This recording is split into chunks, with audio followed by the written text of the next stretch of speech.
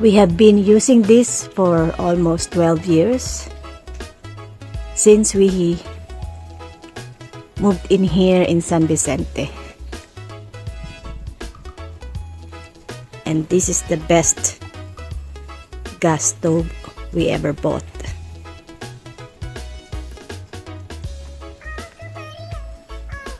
Nabili namin to sa Australia. And ito ang lagi namin ginagamit pag nagluluto. Napaka-convenient niya. So, ayan yung loob niya. Then, actually, meron tong parang ano dito, spit para mag-roast ng chicken. Yan. Then, pwede ka rin mag-ihaw dito. And mag-prito.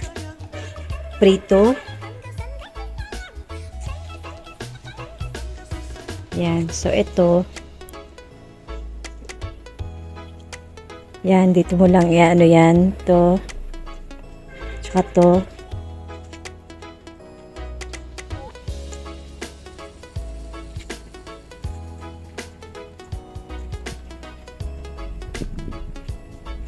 Diba? Ganda. Tapos ito, parang in-upgrade lang namin. Tapos, nilagyan namin yan. Kasi dati, ano to, parang electric.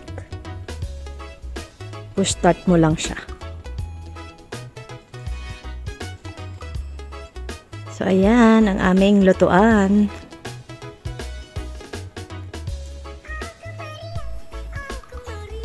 Napaka-in-demand nito sa Australia kasi ang mga Australians ang hilig nila mag ihaw-ihaw. So, ilabas nyo lang to sa backyard ninyo and then mag-ihaw kayo ng sausage with white onion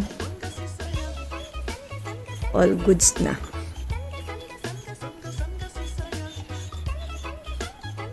So, super nagustuhan talaga namin to. And nagsisi kami kasi hindi kami nakabili ng mga dalawa pa. Kasi napakadaling gamitin at i-assemble. This is Aklanon Good Official. Thank you for watching. Paalam.